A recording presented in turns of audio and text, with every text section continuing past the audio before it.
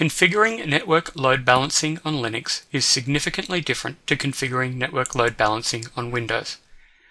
On Linux, network load balancing is split into two separate server components. The first is one or more servers that actually run the load balancing software. The second is the nodes that actually form the cluster, for example, web servers. In this example, we're going to configure a network load balanced Apache cluster.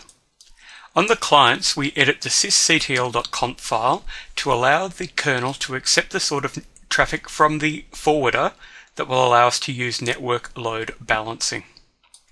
These changes can either be written directly to the kernel or will be active the next time you boot. It's not necessary to install any extra packages on the web server. All we need to do is write those changes to the kernel and this is done by entering the command sysctl-p. Because I'm using Ubuntu, I must preface this command using sudo.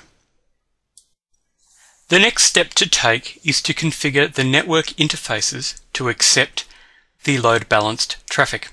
This is done by configuring a special auxiliary interface with the address of the cluster and then ensuring that our normal interface address, in this case uh, 192.168.15.45, is also configured properly. So you can see that the address of our cluster is 192.168.15.42. Now we shift across to the load balancer itself, and there's several steps that we need to take to configure this particular computer. By default, the modules needed to support IP virtual server are not included in the kernel. So you actually have to edit the modules file and add the list of modules, which you can see in front of you, to the kernel. These will load up and then IP virtual services will be able to work. Once you've configured modules, every time that you reboot the load balancing computer, it will automatically support load balancing.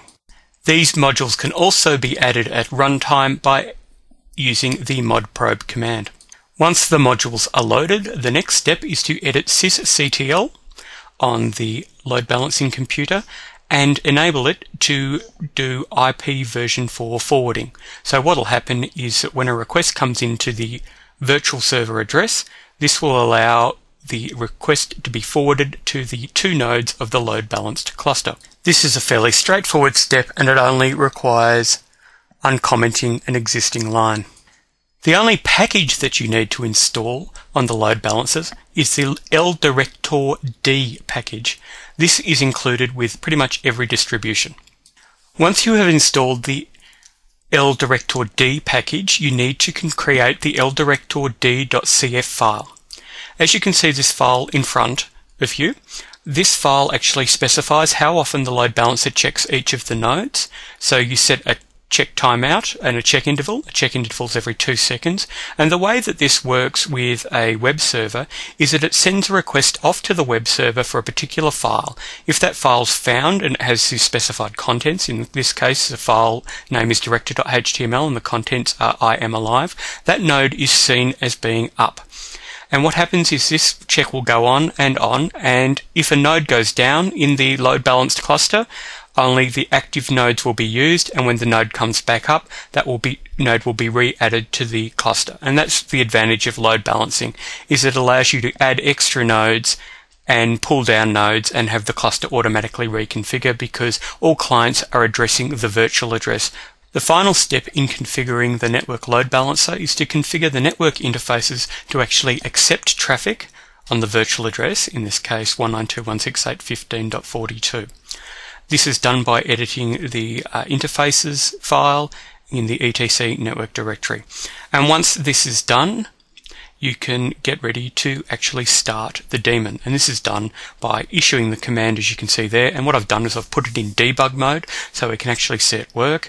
I'm using the sudo command because I'm on Ubuntu. And that starts and what you can see there is that it's actually found each of the two nodes.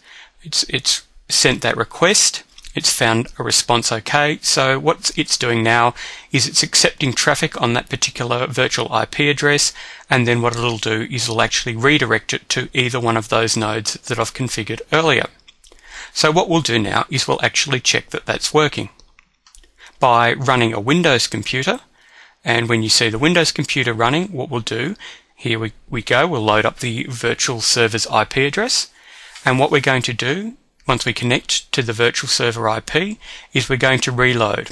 Now the way I've actually got it so that you can tell the difference is I've actually put a directory called node A and you can see it's just switched to node B, node A and by just refreshing constantly refreshing it'll go to one node or the other see it's just changed again and that way you can actually tell that network load balancing is working.